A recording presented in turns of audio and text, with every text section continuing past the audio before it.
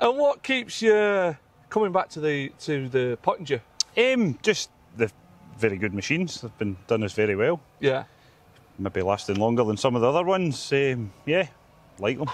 Easy to maintain, easy to drive. Parts, if you need, they're very local dealers got them all in stock, and off you go. So, Yeah. And uh, why do you sort of go for the jumbo models? Um, just heavier duty seems to stand the pace. We've not got massive tractors, but yeah, doing a lot of loads. Um, sometimes it's up to a thousand a year each machine. All so right. yeah, they're standing up to it well. So Yeah. just once we got a jumbo, we've kept to a jumbo. That That's was, it. That was it. So Exactly. And how many acres would you sort of put through them roughly a year? It varies around the four thousand, sometimes more. Just Right. depends how it goes.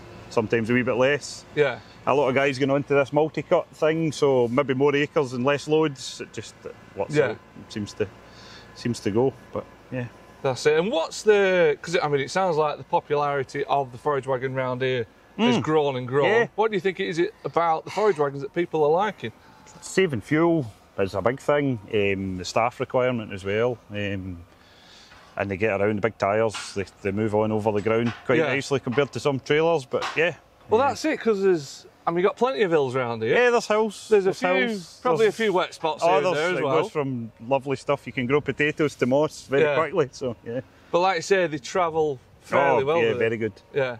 quite am- quite amazing. When we saw the first one, we thought it's going to be a monument in a field someday, but no, no, it's all right. So Yeah. oh, I've had them stuck, but we'll get them out. So. Yeah. Because what will they be on? They'll be on like 800s or something. Yeah, 826.5s on them now, and yeah, I think you can go to a 30.5 now, but yeah, well, that's maybe for the next one. So we'll That's see it. how it goes. Keep that one on the shopping list. Yeah, we'll keep And has it surprised you where they will go? Yeah, very much. Yeah. very much. Yeah, yeah. If the front axle goes in with the and the steering axle, you're you're in the gate and away. And what's the uh, what's the new one like compared to the older jumbos? Like, you know, Yeah. how- have they moved on? Would? Um, the moving headboard, I mean, they do a, a, a larger range, but we're maybe just shy in horsepower for that. Yeah, because um, that's it. Because we've got the seven thousand and the eight thousand Yeah. now, haven't they? I'd love an 8000, but aye, I think we need bigger tractors for That's a that big one. that one, it's isn't a big, big machine. Well, that'd be the short chop as well, is it? That would be good. Is that something you'd be quite? ah, maybe up for? someday, yeah, yeah. You know, those ones drop it nice enough, but Yeah. yeah.